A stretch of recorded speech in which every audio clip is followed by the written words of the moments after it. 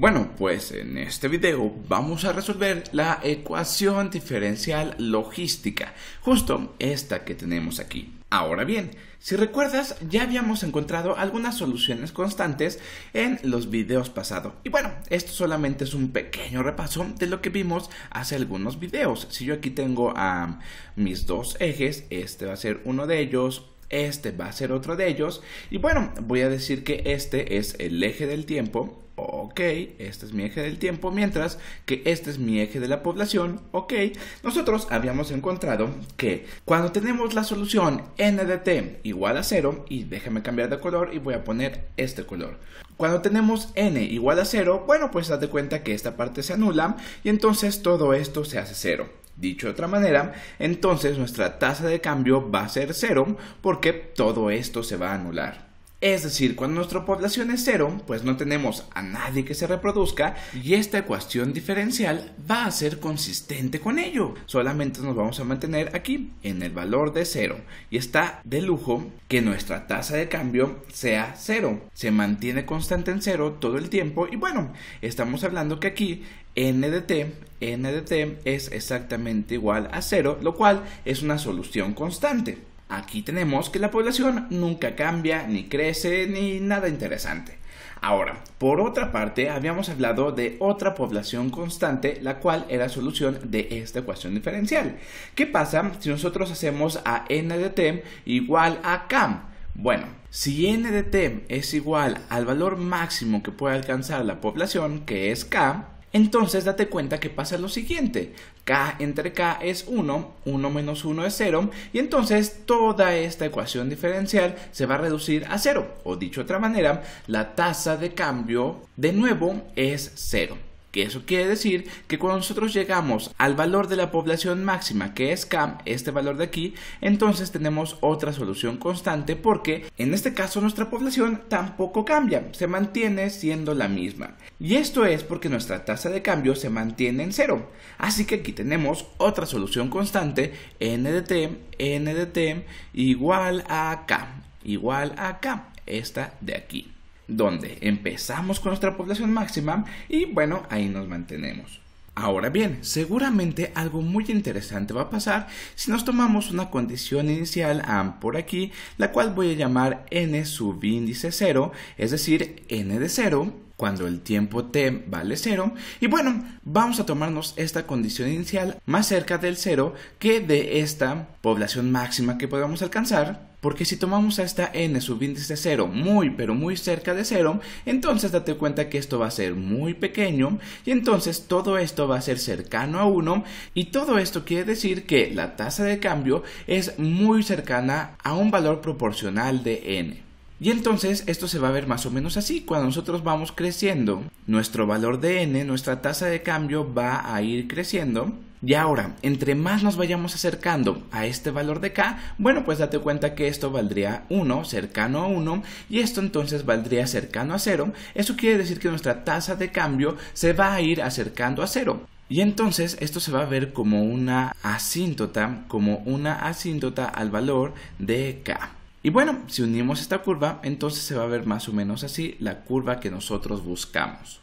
Es decir, vamos a ver si podemos encontrar una función n de t, una función n de t que nos dé una representación, una gráfica más o menos parecida a esta una función n de t que sea solución a esta ecuación diferencial. Y fíjate qué interesante, estamos buscando una forma de modelar población, o dicho de otra manera, estamos buscando una solución que sea consistente a la idea principal de Malthus. Así que vamos a ver si podemos hacerlo.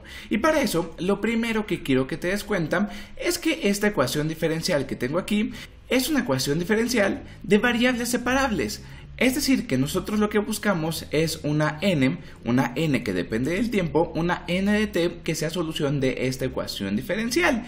Y bueno, como no tenemos al tiempo de una manera explícita, entonces se me ocurre que la forma más sencilla de resolver esto es dividir todo entre esta parte que tenemos aquí. Entre todo esto que tenemos aquí. Voy a dejar de este lado a la r porque, bueno, Creo que así va a ser la forma más sencilla de resolverlo y voy a dividir todo entre esta parte que tengo aquí. ¿Y qué me va a quedar? Bueno, pues me va a quedar entonces que 1 entre entre bueno, pues toda esta parte de aquí, así que déjame ponerla, 1 entre n que multiplica a su vez a 1 menos n entre k, ok, vamos a ponerlo, esto que multiplica a su vez a 1 ok, menos n, vamos a ponerlo con este color, menos n dividida entre k, ok, esto dividido entre k, esto que a su vez multiplica, bueno, a esta parte de aquí, y es más, déjame atraparla, ok, y la voy a copiar y la voy a pegar, ok, esto que multiplica a esta parte que tenemos aquí, ok, vamos a ponerlo así, y voy a poner que estos dos están multiplicando, ok, esto va a ser exactamente igual que, y de este lado, bueno, pues solamente me quedo con R. Y bueno, hay varias formas de resolver esto que tengo aquí, pero se me ocurre que lo podemos hacer tomándonos la antiderivada con respecto al tiempo. Y bueno, de esta parte va a ser muy sencillo, me quedaría RT más una constante, pero esta parte parece ser un poco enredada. Así que para tomarme la antiderivada con respecto al tiempo de esta parte, se me ocurre que lo puedo resolver por fracciones parciales. Así que ah, vamos a buscar una A y una B, y déjame ponerlo aquí. Voy a buscar una A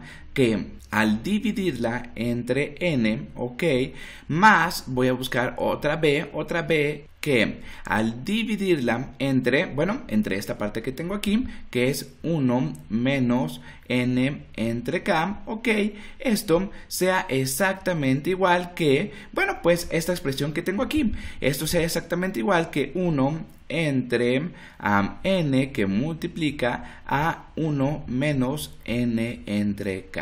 Y bueno, esto es el método de la expansión en fracciones parciales. Te encargo que si no recuerdas bien cómo resolver este tipo de ecuaciones, pauses el video justo ahora y vayas a la sección de Khan Academy que habla de la expansión en fracciones parciales. Ok, y entonces vamos a trabajarlo.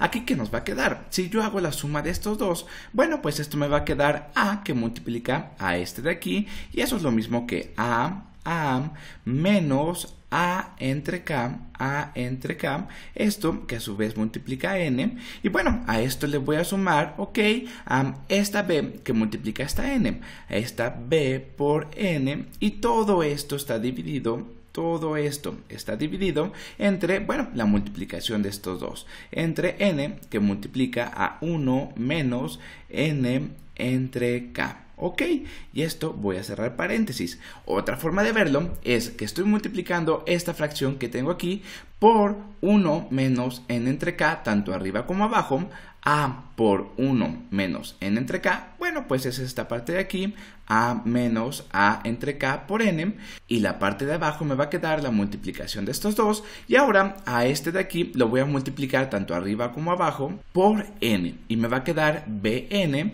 y estos dos se van a pasar multiplicando. Y ahora cuando lo sumo me queda esta expresión que tengo aquí. Y esto tiene que ser exactamente igual que 1 entre, ok, n que multiplica a 1 menos n entre k. Y fíjate que lo que estoy logrando al hacer esto es que ahora tengamos el mismo denominador en estas dos fracciones. Y ya con esto, entonces vamos a decir que todo lo que tenga que ser constante aquí va a ser igual a 1 y todo lo que tenga que ver con n, lo podemos ver así, esto va a ser igual a 0 porque aquí tengo 1 más 0n.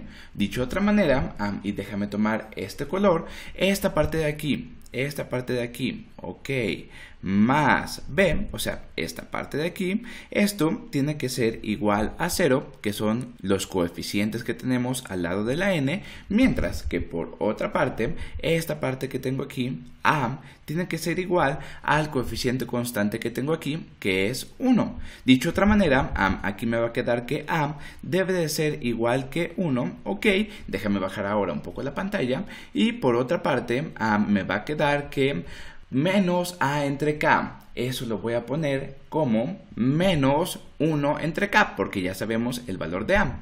Menos 1 entre k, ok. Más b, más b, esto tiene que ser igual a 0. Esto tiene que ser igual a 0, o dicho de otra manera, b, que es justo lo que queríamos, va a tomar el valor de 1 entre k.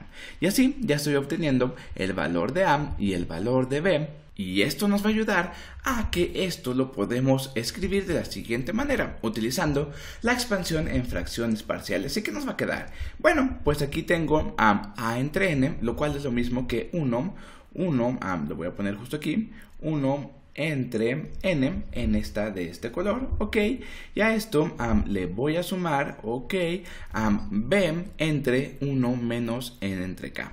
Y b vale 1 entre k, así que lo voy a poner justo con este color. Me queda 1 entre k, ok, esto que a su vez está dividido entre esta expresión que tengo aquí, que es 1, ok, menos n entre k, menos, ok, n entre K. Y K está de este color. Y bueno, todo esto, todo esto a su vez está multiplicando a, bueno, a esta expresión que tengo aquí. Es más, déjame ponerlo justo así. Voy a atrapar esto, ok, lo voy a copiar y lo voy a pegar, ok. Y ahora esto lo voy a poner justo aquí y vamos a poner que esto se está multiplicando, ok. Ahora, esta parte de aquí, por ahora creo que ya no nos va a servir mucho más, esto nos ayudó a entender la expansión en fracciones parciales, lo cual nos va a ayudar mucho con nuestra antiderivada, pero lo voy a quitar justo de aquí para que no nos estorbe más en nuestro desarrollo.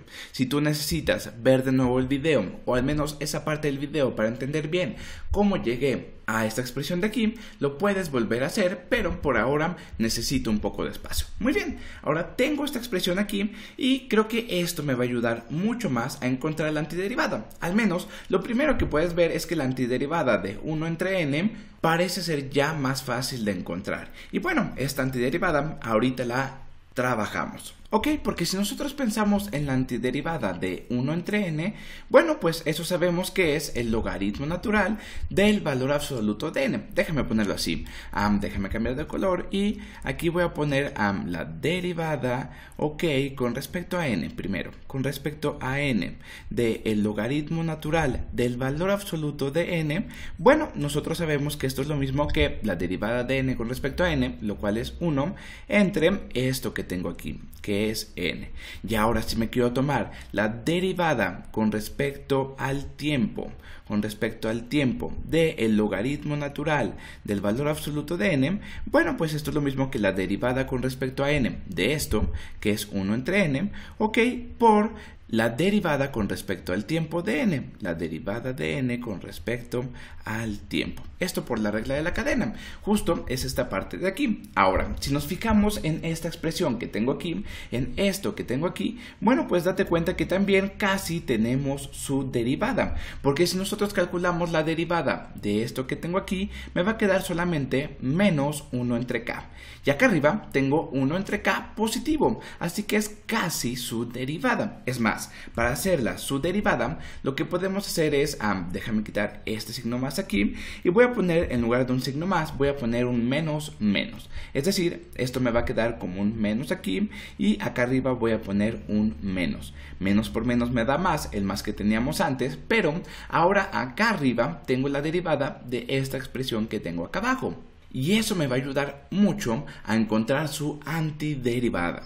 Y es más, para que todo quede muy claro, déjame escribirlo aquí. Si yo me quiero tomar la derivada con respecto a n, ok, de el logaritmo natural del valor absoluto de esto que tengo acá abajo, de 1 menos n entre k, bueno, pues usando la regla de la cadena nos va a quedar la derivada de esto, lo cual es a menos 1 entre k menos 1 entre k, ok, que a su vez multiplica a la derivada del logaritmo natural de todo esto.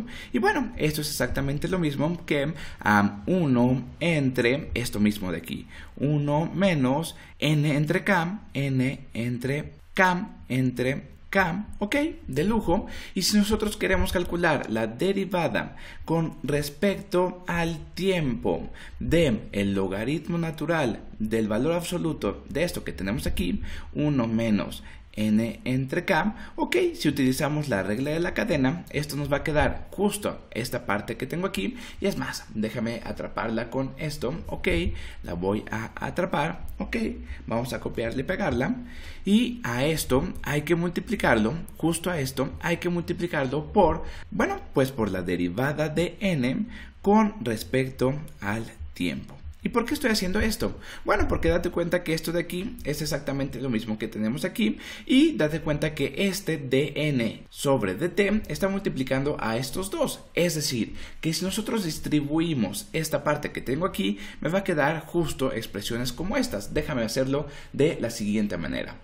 si yo copio esta parte de aquí, la voy a atrapar con esto. Ok, vamos a copiar y pegar, ok, ah, me va a quedar 1 entre n, ok, esto que a su vez multiplica a esta parte de aquí, déjame ah, distribuir, vamos a distribuir este uh, paréntesis, ok, ya esto hay que quitarle, porque aquí tengo un signo menos, a esto le voy a quitar, bueno, pues esta parte de aquí que también voy a hacer lo mismo, voy a atraparlo, ok, lo voy a copiar y lo voy a pegar, ok, ya lo tengo aquí, lo voy a poner justo por acá, que a su vez multiplica a dn con respecto al tiempo. ¿ok? Ah, me queda esta parte de aquí y ahora lo voy a poner justo por acá, estos dos se están multiplicando y bueno, ahora date cuenta que esto va a ser igual que r. Y ahora esto nos va a ayudar bastante a poder encontrar nuestras antiderivadas que tanto queríamos. Y ahora sí, si nosotros tomamos la antiderivada con respecto al tiempo de esta parte que tengo aquí, bueno, pues ¿qué me va a quedar? Date cuenta que esto, su antiderivada, es justo lo que tenemos aquí y entonces me va a quedar el logaritmo natural, y déjame ponerlo así, el logaritmo natural, ok, del valor absoluto de n, ok, esto menos, aquí tengo un menos, y bueno, si me tomo la antiderivada de esta parte que tengo aquí, es decir, de todo esto que tengo aquí con respecto al tiempo, bueno, pues date cuenta que vamos a llegar justo a esta expresión que tenemos aquí. Es decir, al logaritmo natural del valor absoluto de 1 menos n entre k. Ok, y a esto, ok, en valor absoluto, esto va a ser exactamente igual a, oh espera, no olvidemos las constantes. Esto al sacar su antiderivada, ok, obtenemos una constante, le voy a poner una constante 1 y esto va a ser exactamente igual a la antiderivada con respecto al tiempo de esta parte, lo cual es r, ok, déjame ponerlo con este color, es r que multiplica, bueno, al tiempo, r que multiplica el tiempo y a esto hay que sumarle, bueno, pues otra constante de integración que sale de sacar la antiderivada de este otro lado, más otra constante 2. Ok, y si ahora yo bajo un poco la pantalla, vamos a bajar un poco la pantalla, entonces, ¿qué voy a obtener? Y es que si ahora suponemos, y déjame subir un poco la pantalla, si suponemos que nuestra n dt está justo en este intervalo, es decir, que nunca es más pequeña o igual que 0 y nunca es más grande o igual que k, o vamos a ponerlo justo aquí. Si suponemos, suponemos, ok, que n de t, n de t, esto siempre es más grande que 0, ok, justo como en este ejemplo, y es menor que k, entonces date cuenta de lo siguiente en esta expresión que tengo aquí. Nos va a ayudar a simplificar bastante las cosas. déjame subir ahora un poco la pantalla porque entonces ahora date cuenta que yo puedo eliminar estos valores absolutos. Si yo veo que n siempre es más grande que 0, bueno, entonces esto de aquí siempre va a ser positivo, así que no es necesario ponerlo. Vamos a quitar este valor absoluto de aquí. Y si yo supongo que n siempre es menor que k, entonces esta expresión que tengo aquí completa va a ser siempre mayor que cero. Por lo tanto, no es necesario poner este otro valor absoluto. También lo voy a quitar de aquí. Y ahora sí, suponiendo que n de t está entre 0 y k, bueno, pues ya puedo obtener esta parte de aquí, lo cual me ayuda un poco a simplificar las cosas. déjame poner aquí un paréntesis. Y bueno, ok, por aquí también necesito unos paréntesis. Y si ahora lo que voy a hacer es restar C1 de ambos lados de esta ecuación, O bueno, no, de hecho, déjame hacer esto en el siguiente video porque este video está quedando enorme y es que estoy tan emocionado porque estoy muy pero muy cerca de llegar a la solución que yo quería. Pero no te apures, en el siguiente video voy a seguir resolviendo y encontrando la solución que estamos buscando, que cerca estamos.